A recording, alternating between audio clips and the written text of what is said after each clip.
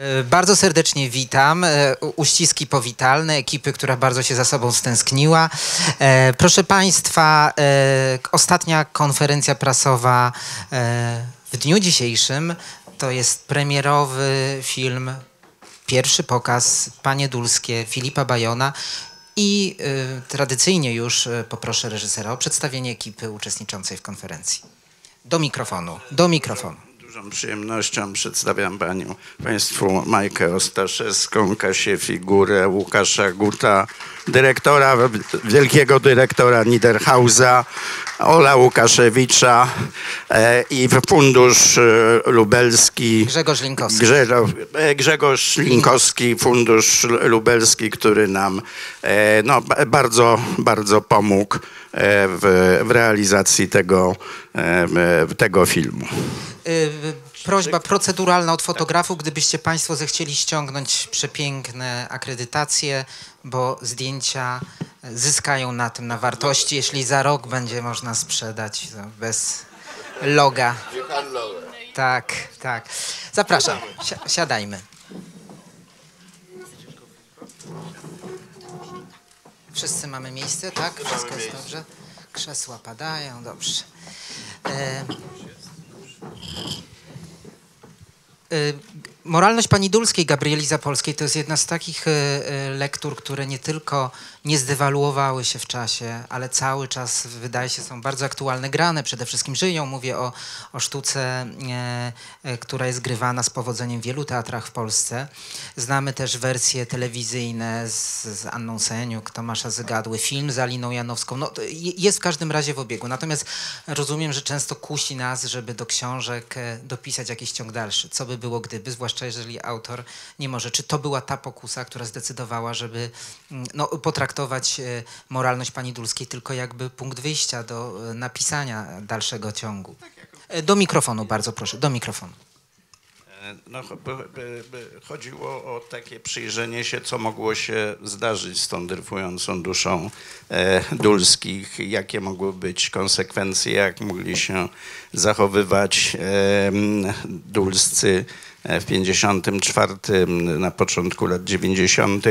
A ponieważ no, ja pochodzę właśnie z takiego mieszczańskiego środowiska poznańskiego, które jest bardzo ekstremalnym środowiskiem mieszczańskim, więc był to gdzieś temat dość, e, dość mi bliski e, i to, to, to takie drążenie mieszczaństwa, przyglądanie mu się e, e, z, z poczuciem humoru, ale uważałem za, za dość istotne. A poza tym ten zabieg, że tak, e, że tak powiem, dopisywania, że tak powiem, dalszych ciągów, no to teraz mamy książkę, która dopisała dalszy ciąg do milenium, prawda, i wszystkie gazety się o tym, e, o tym rozpisują.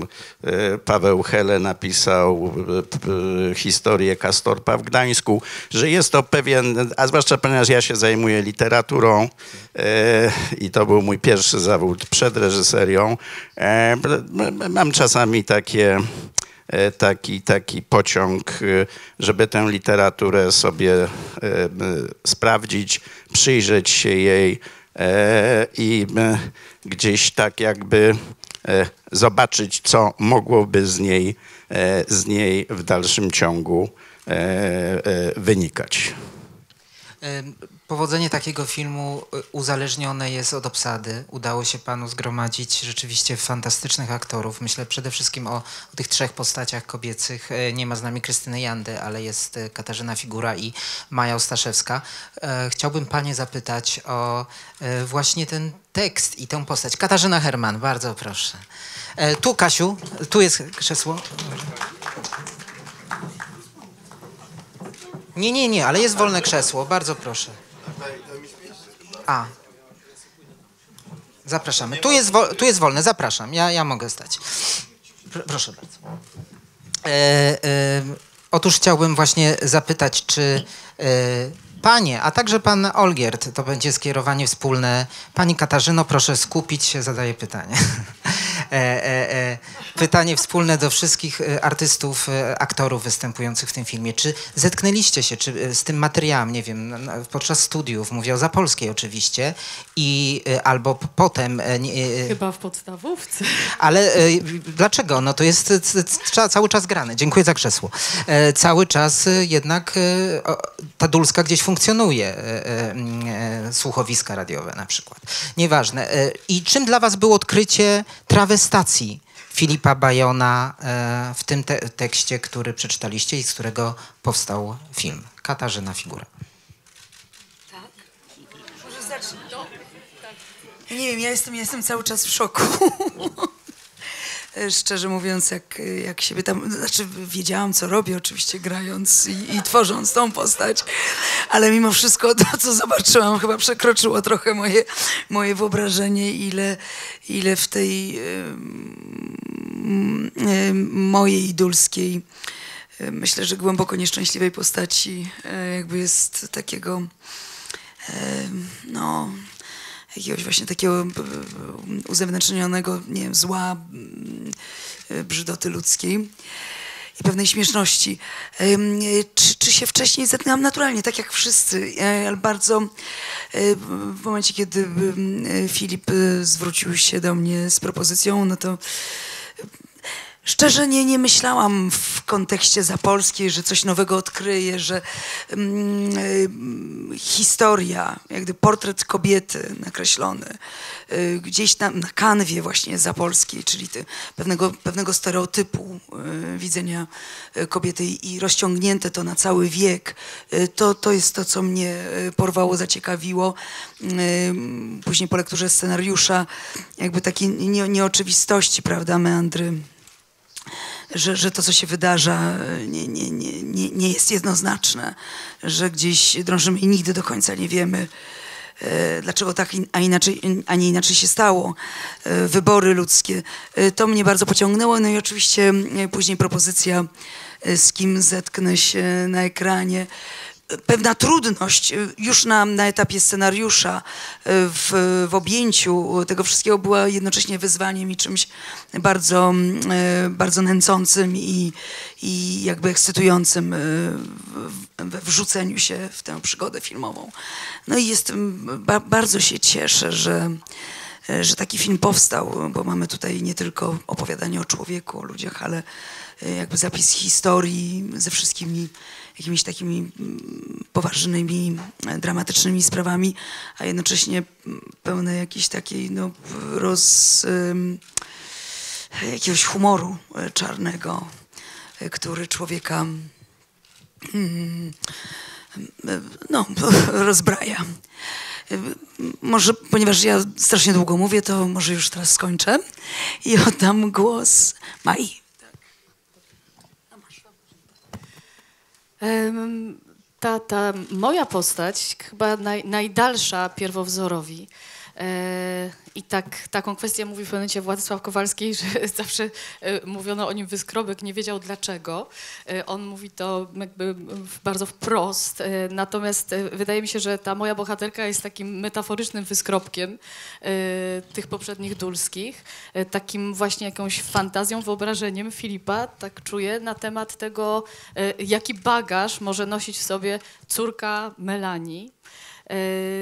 Bardzo to było ciekawe, bardzo trudne wyzwanie. Mm, Podobało mi się w tym to, to, że Filip z jednej strony mm, chciał pokazać to właściwie żartobliwie, humorystycznie, tego szukaliśmy, jakiegoś dystansu do, do siebie, dystansu do, do e, bardzo przemądrzałej osoby, ale e, z drugiej strony też jakby, mm, no właśnie obśmiewa i to mieszczaństwo, ale też e, pokazuje, jakie, jakie rany, może to zbyt wielkie słowo, ale, ale e, co może pozostawić w psychice e, wyrastanie w takim domu, czy też e, wyrastanie wśród wielu tajemnic nieujawnionych i, i, i właśnie jakby wchłanianie tych wszystkich zakopanych pod dywan spraw. E, Bardzo, bardzo ciekawe doświadczenie.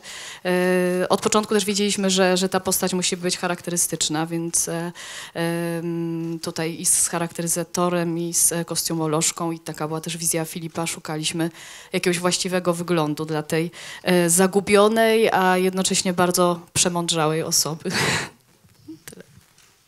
Ka Kasia Herman. Oczywiście zetknęłam się z lekturą i, pierwsze pytanie, jakie miałam, czy Jasiewiczowa to jest Julia Jasiewiczowa? Okazało się, że tak. To intrygująca postać, bo intrygantka, ale mnie najbardziej w, yy, chyba ucieszyło w niej, przepraszam, to taka pewnie próżność aktorska. tak mało, tak rzadko robi się filmy kostiumowe, a ja wiedziałam, że będę miała autentyczne kostiumy, gdzieś tam przywiezione przez kostiumografkę e, cudowną braszkę z, zagranicy, kapelusze, futra, Potem ją przeklinałam, bo kręciliśmy na hali w 40-stopniowym upale i, i rzeczywiście byłam bliska omdlenia, ale to, to było, no, to, to, była duża frajda y, y, wcisnąć się w taki kapelusz. A na serio, mm, a, a na serio, mojej postaci to nie dotyczyło, ale najbardziej uwiodło mnie w tym scenariuszu to, to, o czym mówiła Maja, o takiej chorobie jakiejś, tutaj akurat jest to rodzaj dulszczyzny, dulszczyzna przechodzącej z pokolenia na pokolenie, o takiej energii y, przekazywanej y, dalej, bo, bo ona gdzieś krąży w powietrzu i warto to sobie uświadomić. Pani Olgierdzie. Bardzo mnie u- ucieszyła e, propozycja reżysera, żebym zagrał mężczyznę, który składa rodzinie to, co ma najpiękniejszego w darze, to znaczy dar swojej obecności. Poza tym milczy. No i było tutaj bardzo ciekawe, co też sobie milczący myśli i co się uda przemycić, e, co w, w, teatrze znajduje swoją puentę w tych, tych mm, ostatnich słowach w, w przekleństwie, ale poza tym on jest tam e, obecny. Więc y, reżyser rzeczywiście był tutaj niezwykle pomysłowy. No, mężczyzna przemyca do rzeczywistości rodzinnej no, nie tylko te swoje ulubione melodie, e, cygara, ale i także te karty, na których tam te panienki są em, sfotografowane. Czyli możemy się domyśleć drugiego życia, drugiego daru obecności, tylko na zewnątrz Dulskiego. Poza tym milczy, więc i ja w tej chwili powiem, reszta jest milczenie. Dziękujemy bardzo, ale my nie będziemy milczeć, zwłaszcza, że pewnie Państwo macie mnóstwo pytań do wspaniałych twórców. Bardzo proszę. Tak, zawsze jest. Proszę, dwa pytania. Najpierw pani Katarzyna Fryc, a potem trzy rzędy niżej, pan Marcin. E, bardzo proszę. Chciałam Państwu y, podziękować za ten film, bo to rzadki przypadek w polskim kinie, kiedy mężczyźni grają role drugoplanowe. Y, Więc za wszystkie role, ale zwłaszcza za te kobiece, dziękuję Państwu serdecznie i przede wszystkim za pomysł na scenariusz, za to, że odważył się Pan pójść dalej, tak y, ciekawie opowiedzieć nam swoje wyobrażenie o dalszych y, losach rodziny Dulskich.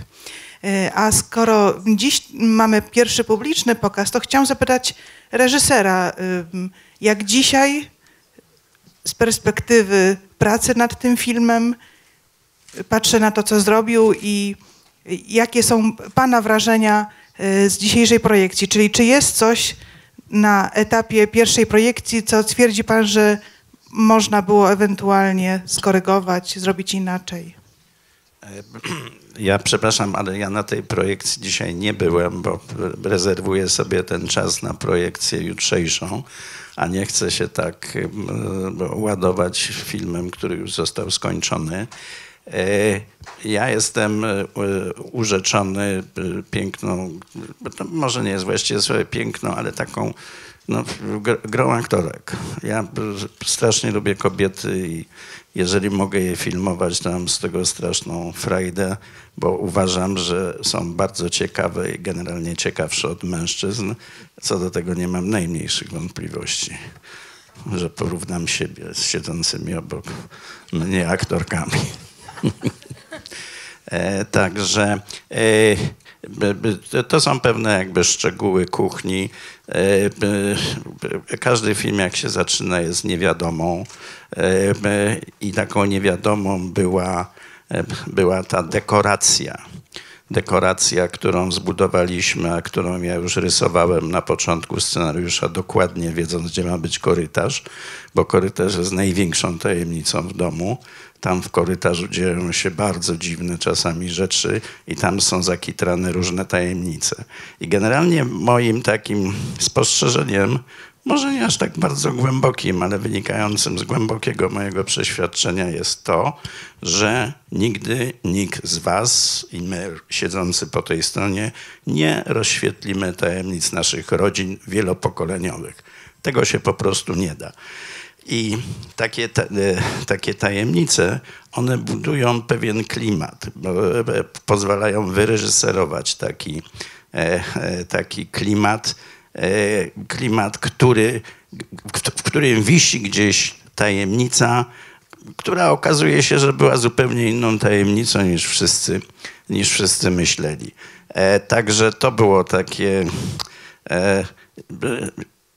Nie za często wchodziłem w te klimaty rodzinne, no ale Magnat też ma takie, takie, różne, e, takie różne tajemnice i w ogóle relacje międzyrodzinne e, są najbardziej fascynujące e, dramaturgicznie, że przypomnę chociażby film Sierpień w Osage Country. Osage? W Osage Country.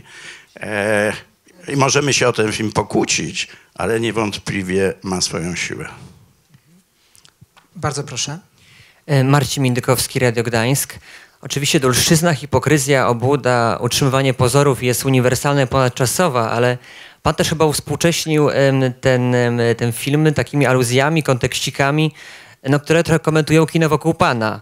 I te aluzje były bardzo mocno tu wychwytywane na pokazie. Mam na myśli łapanie Hiszpanki w kinie, kino rakowe. Od razu mówię, że przypadek. Przypadek, wszystko przypadek. Od razu mówię, że przypadek, ale jak nakręciłem, to się zorientowałem. Postaje w to uwierzyć, ale też jednak postać Melanii wprowadza jednak taki komentarz do kina współczesnego, prawda? O kinie, które musi być ekshibicjonistyczne, które musi być strzewi, musi być takie terapeutyczne, ale w złym sensie. Musi być takim wywaleniem bebechów. Czy trochę to nie był taki pana komentarz e, i, i takie stanie z I on boku byłby wobec tego jeszcze kina? mocniejszy, bo zobaczyłem ostatni film Zajdla. Jak mnie spytano, co o tym myślę, to powiedziałem, że w każdej piwnicy w Poznaniu mazochiści zachowali się jeszcze gorzej niż w filmie Zajdla. Oczywiście był to komentarz żartobliwy. E, nie, ja po prostu e, e, bardzo lubię ekstremy. Naprawdę, bardzo lubię, ale gdzieś e, no, no, muszą one się zawierać, może tu powiem coś mieszczańskiego, ale jednak w pewnej estetyce.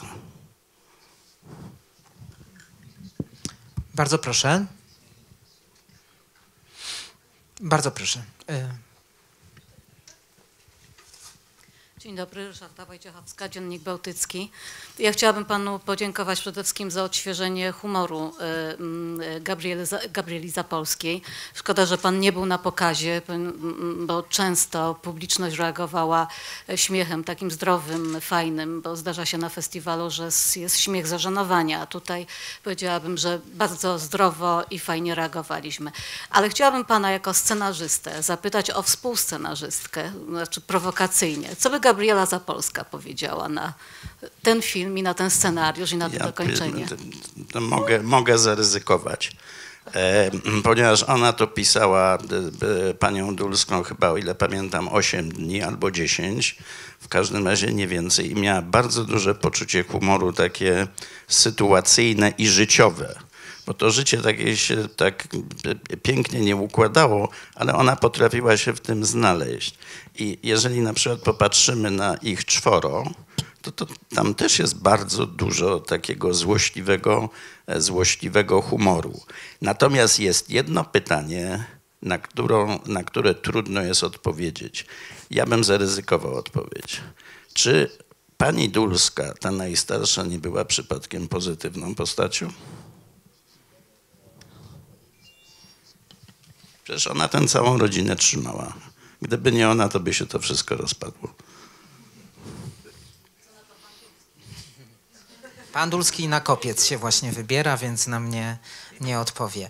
Zresztą, e, panie Filipie, prawda, to było, e, akcja się rozgrywała w Lwowie, tylko, e, tylko ze względu na to, że krakowski teatr to zrobili Kraków i Nie, Kopiec Kościuszki. Jak to było? Nie, nie. Było tak, że komuniści, no jak stracili Lwów, to nie chcieli grać Dulskiej w Lwowie. I pomylili się w redagowaniu tekstu. Tam jest, że idzie się do Kaiserwaldu. W Krakowie nie ma Kaiserwaldu. Także Kaiserwald jest w Lwowie i to jest jedyna pozostałość, jaka pozostała po tym. Był też pewien problem, no bo bardzo mi Lublin pomógł i kocham ich za to i kocham ich miasto, e, no ale był, e, był pewien problem, z którego ja nagle zdałem sobie sprawę. Mówię, Jezus Maria, no przecież to jest zabór rosyjski. Ja przez pewien czas myślałem, że Lublin jest zaborem austriackim. Ale nie, rosyjski. I teraz rosyjski zabór ma zawsze konotacje polityczne, a mi na tym kompletnie nie zależało. I nagle przypomniałem sobie e, ziemię obiecaną Wajdy. Ja mówię, zaraz, zaraz. No przecież ziemia obiecana też jest w zaborze rosyjskim. A tam ani jednego Rosjanina nie widziałem. Jeden śpiewa ładysz. E, I, i, I to wszystko są Niemcy, Żydzi, Polacy, prawda? Ani jednego Rosjanina. I pomyślałem tak, żeby też w jakiś sposób to trochę tego unikać i pokazać to w miarę dyskretnie, żeby nie było tych konotacji polsko-rosyjskich, bo mamy ich od, od, od tyle ich mamy ostatnio, że, że już wolałem w to nie wchodzić. No. Dziękuję bardzo. E, Tu, proszę bardzo. Ewa Podolska, TOK FM. Pani, mm, ja chciałam zapytać Panie, mm, Krystyna Janda nie zaskoczyła mnie. To ja już miałam poczucie, że tak, tak właśnie gdzieś widziałam, jest oczywista. Pani y, Katarzyna Figura, to zupełna metamorfoza i chciałam, by Pani nam powiedziała kilka słów o problemach może w budowaniu tej roli, o jakichś może drobiazgach, które Pani e, pomagały. Y, Jak, jak Pani do tego y, dochodziła? Y, o to, a poza tym chcę podziękować, rzeczywiście dołączyć się do Pani poprzednio, ponieważ są takie filmy, przy, gdy, gdy mówimy magia kina, to właśnie, to jest właśnie to. I to jest chyba taki film, gdzie po prostu delektujemy się tym światem, który Państwo stworzyli, po prostu wchodzimy w niego i, i za to chcę też podziękować. Bardzo dziękuję za, za, to, to, za to słowo. E, Rzeczywiście powiem szczerze, że e, to, że miałam zagrać, że musiałam się przetransformować i, i, zagrać, no, no chciałam stworzyć postać jak najdalszą od siebie, powiedzmy w tym wieku zbliżonym, czyli przypadającym na lata 50 y, ubiegłego wieku, czyli tą dojrzałą e, dulską, E, ale później miałam przed sobą, czy też wcześniej, bo przecież nie opowiadamy te, te, tej historii chronologicznie, tę, ja to sobie tak nazwałam, tę staruchę moją, bardzo zgorzkniałą, złą i taką e, nie potrafiącą sobie poradzić chyba z samą sobą i z otaczającym światem. Rzeczywiście zaczęłam szukać, bardzo byłam wdzięczna w- Filipowi, który już od samego początku, jak gdyby dobieranie właśnie kostiumu, to co e, też e, Katarzyna wspomniała, włosy, peruk, e, znalezienie jak gdyby drogi do charakteryzacji, do tej zmiany, prawda, do tej transformacji, gdzie początkowo też myśleliśmy przy postarzaniu była taka, taki pomysł, żeby coś tam doklejać, prawda? Jakoś tam y, są takie środki, które ściągają skórę, nie wiem, na- nakleja się jakieś tam. Raz, że byłoby to uciążliwe oczywiście w realizacji y, filmu, bo musielibyśmy ten, długo przez tę charakteryzację przechodzić. Yy, A dwa, wydaje mi się, że tam podeszliśmy do takich prób, ale to nie zdawało egzaminu. I mm, wspaniałe było Myślę, że to w dużym stopniu jednak przyszło właśnie ze strony reżysera, żeby, a ja się na to chętnie zgodziłam, co nie jest tak oczy, takie oczywiste w przypadku aktorek, aktorów, a i aktorek na pewno też nie, żeby charakteryzator pogłębił po prostu moje zmarszczki, poszedł cienie, jakby tak e, obciążył tę twarz. e, Ym, I w momencie, kiedy pracowaliśmy, przygotowywaliśmy się, oczywiście ja również pracowałam nad tekstem, nad, nad tą postacią. Ale e, w tym momencie, kiedy, że tak powiem, ta twarz zaczęła mi się gdzieś tak ujawniać e, e, w lustrze, taka coraz bardziej, mm, nie wiem, zmęczona, stara, niespełniona. I, i gdzieś mm, pamiętam, że nawet zwierzyłam się Filipowi z tego, jakby tak bardzo dyskretnie słuchał, ale też mi nie, nie powiedział, że to tak. Ale sobie zbudowałam e, e, ta, ta, taką postać w sobie jakiegoś takiego niespełnionego dziecka, które e, właśnie przy takiej osobowości dulskiej, matki, granej w dodatku no, ale przy osobowości właśnie granej przez Krystynę Jandę. I te jak gdyby pierwsze słowa, które nakręciliśmy, kiedy mówię, to był pierwszy dzień zdjęciowy, kiedy mówię, nigdy nie będę e, taka jak ty, czy nawet, ja chyba tam zmieniłem, to było chyba tak dobra jak ty. Tak, ale to było takie, to było, to, to właśnie to był, że, że, że, że, że ta dziewczynka, która to wszystko obserwuje, gdzie ten dom jest wypełniony, Jak gdyby ogromnym potencjałem poznania, rozwoju. Wszystko jest dane, ale jest ten, ta osobowość matki, która i wiem, odchodzę tutaj od jak gdyby Zapolskiej i tak dalej, bardzo, psychologicznie w to weszłam, yy, yy, że, że po prostu ta, ta, ta kobieta, to dziecko nigdy nie, nie dorosło, nie do... I stąd się wzięło jakieś właśnie, jakby tak głęboko zostało jak matryca w niej wyrobione, jakieś zakłamanie, jakiś, jakaś gorycz, niespełnienie, które później, które później się realizuje. To, co było bardzo ciekawe i co mm, dane mi, zostało mi dane przez scenarzystę i reżysera w konstrukcji filmu, prawda, w konstrukcji tego opowiadania o, o, o tych kobietach, o, o tym życiu, e, było to, że jak gdyby takie najbardziej mocne e, cechy e, wręcz prawie okrutne, jakieś terrorystyczne, wyzwala w sobie ta moja Dulska w momencie jak gdyby zagrożenia dla całej rodziny. Ona wtedy jest tym naprawdę jakimś takim y, potworem, który po prostu roz... A jednocześnie jest to zabawne, prawda? Y, który roz, y, rozkłada jak gdyby karty, nakazuje ludziom zachowywać się tak, a nie inaczej, dlatego że wie, że jeżeli, jeżeli prawda wyjdzie na jaw, prawda? I, że, że, jesteśmy w obliczu jakiegoś największego zagrożenia. Mówię o tej scenie, e, kiedy ubuwa zabija e, męża i, i jakby no, no wszystko może runąć. E, kiedy w, zostajemy wpojeni, steroryzowani, wrzuceni właśnie w, w kłamstwo prawda? No i, i, i to coś wspaniałego. Oczywiście nie mogłam się rozstać z tą staruchą, jak ona już powstała. Y, i, i weszła we mnie, y, to jakiś znalazłam, hmm, nie wiem, no w tym jakieś, y, w tej postaci jakieś dziwne upodobanie. Dlatego, że to, co pani powiedziała mm, przed chwilą, że bardzo, przepraszam, pani Katarzyna powiedziała, że bardzo rzadko powstają filmy, szczególnie w kinie polskim, które y, pokazują świat kobiety i pokazują to, co się tam dzieje w tym świecie, co, co widzimy na zewnątrz, jak, jak się zdarza. A, a, a co tak naprawdę, być może dlaczego właśnie tak się zdarza?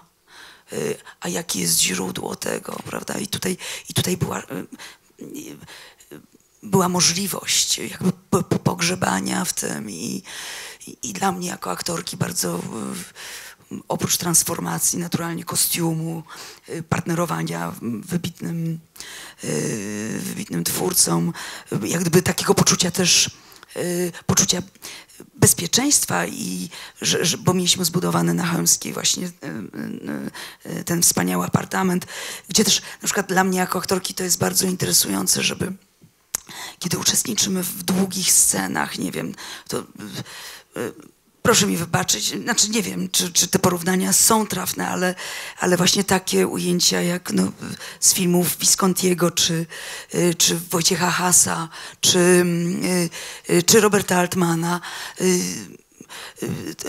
po prostu to wymaga nie tylko od, od nas wszystkich, ale od aktorów to wymaga naprawdę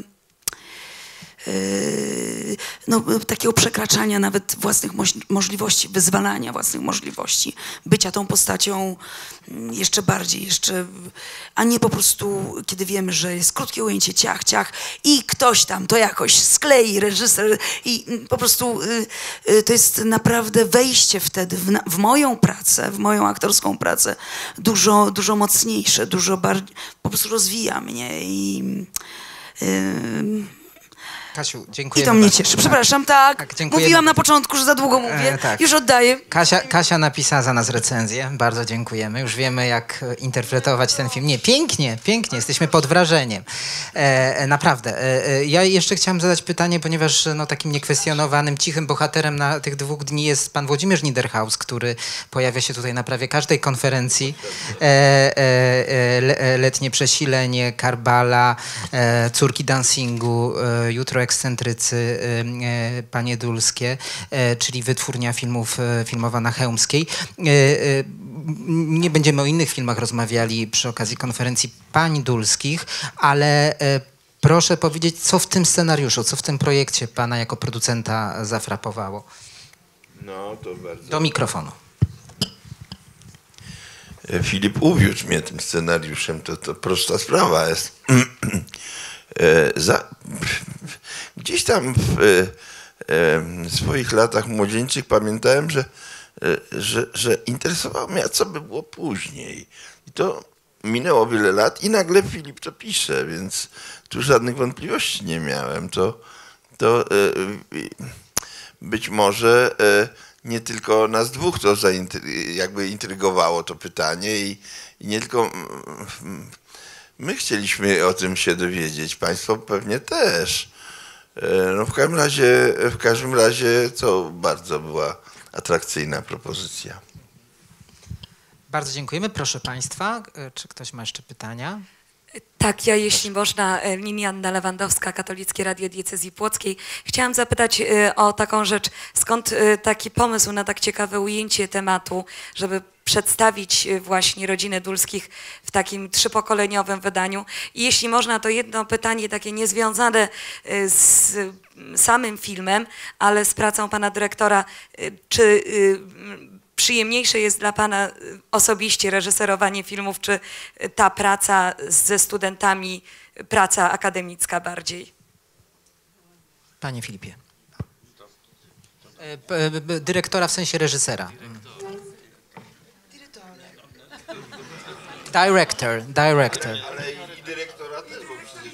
Ale dyrektora też, tak. No, zdecydowanie b, b, b, b, pobyt na planie filmowym jest tym takim, ja kiedyś to nazwałem, darowanym okresem. E, Kiedy no, w- coś się staje, nie wiadomo jeszcze, przecież to jest zawsze wielka niewiadoma, co tak naprawdę się stanie. E, Natomiast e, e, te trzy postaci Dulskich, one mi się, no tak można powiedzieć, przyśniły.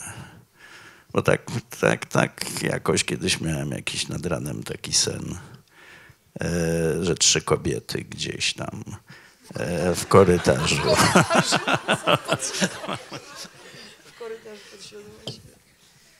Bardzo proszę. Czy ktoś ma jeszcze jakieś pytania? Też pani pytała o historię, prawda, żeby taką całą sagę stworzyć. No, wie, no bo to, to, to, to wie pani, no to klucze są, są, są następujące. No. E, gdzieś no, mój dziadek urodził się w 1877 roku. E, Mieszkał w tym samym mieszkaniu, prawda? Dużo, e, dużo mi opowiadał. E, Ja miałem dostępność do tych lat dwudziestych, do czasów wilhelmowskich. Zresztą zawsze lubiłem historię, lubiłem filmy historyczne z bardzo jednego powodu. Z tego powodu, że widz nie mógł mnie sprawdzić. Bo jak robię film współczesny, to widz od razu mówi, ale przecież tak nie, nie jest. Ludzie się tak nie zachowują. A jak robię film historyczny, to, to ja wiem bardzo dużo, mam przewagę nad widzem i on mi nigdy nie powie, czy pociąg do Wieliczki odchodził o 4.10 czy o 4.15. A widzowie na tym bazują, żeby reżysera przyłapać. Także to jest pewien rodzaj takiego i lubię te czasy takie, jeśli chodzi o stalinizm, to pamiętam jak ojciec wywieszał flagę jak umarł Stalin. Dobrze to pamiętam. A jeśli chodzi o, e, o ten, ten, ten, ten, ten współczesność, no to właśnie ten Zajdel jeszcze tutaj był taki, no również koszałka. Nie ma go na widowni, ale zawsze mogę mu to powiedzieć, że jest też ukrytym bohaterem tego filmu. E, I też był taki niemiecki reżyser. On zmarł gdzieś w 2010 roku, który bardzo takich udzielał ostrych wywiadów e, na swój, na, na swój temat. Także jest, jest to pewien rodzaj to, co, co, co Majka mówi o tym ekshibicjonizmie, że jest największą wartością współczesnych czasów. Bardzo proszę, czy są jakieś pytania jeszcze? To ja bym, korzystając z obecności Łukasza Guta, operatora, zapytał właśnie e, o, o, e, z Twojej perspektywy o, o, pracę nad filmem. E, jest Pan Grzegorz Linkowski, czyli Lublin, miasto coraz częściej. Film Carte Blanche też był, tak dobrze Grzegorze mówię, też był lubelskim filmem, nie ma go na festiwalu w Gdyni, Kamienie na Szaniec. Jak pracowało Ci się w Lublinie, jak wyglądała praca? Czy różniła się znacząco od e, realizacji warszawskich? Czy najpierw odpowiem na, jeśli chodzi o generalnie podejście moje do filmu jest z kolei inne, ponieważ ja musiałem, tak jak budowałyście postacie i to były postacie, które miały swoje ciągłości i które były też w, w, dotyczyły konkretnych czasów, to dla mnie takim zadaniem tutaj podstawowym było stworzenie takich trzech trzech charakterów, trzech światów e, wizualnych, co było szalenie trudne, bo jak wiecie, film odbywa się w jednym mieszkaniu. I to był taki dla mnie taki główny nurtujący temat. Yy, oczywiście to była wielka przyjemność, no, praca z państwem, z aktorami, którzy, którzy wypełniali tą przestrzeń magicznie. Jeśli chodzi o pracę w Lublinie, jest to rzeczywiście przyjemność, chociażby ze względów e, e, takich mentalnych. W Warszawie się coraz gorzej pracuje, ponieważ e, ludzie są bardzo wrażliwi, jak podjeżdża jakiś kamp wielki, to raczej nie jest to przyjęcie sympatyczne. A Lublin wręcz odwrotnie, także to nas wspierało na pewno. Grzegorzu, chcesz coś dodać? No, dla nas to też była e, niesamowita rzecz, bo kiedy od pana Włodzimierza otrzymaliśmy e, scenariusz i mogliśmy to zobaczyć, to od razu zaczęliśmy główkować nad tym, nad tym miejscem, gdzie taką kamienicę, która przez te 100 lat może e, z powodzeniem funkcjonować i to, co Łukasz mówił, że, że tam też te same zadania były, żeby, żeby te trzy okresy pokazać.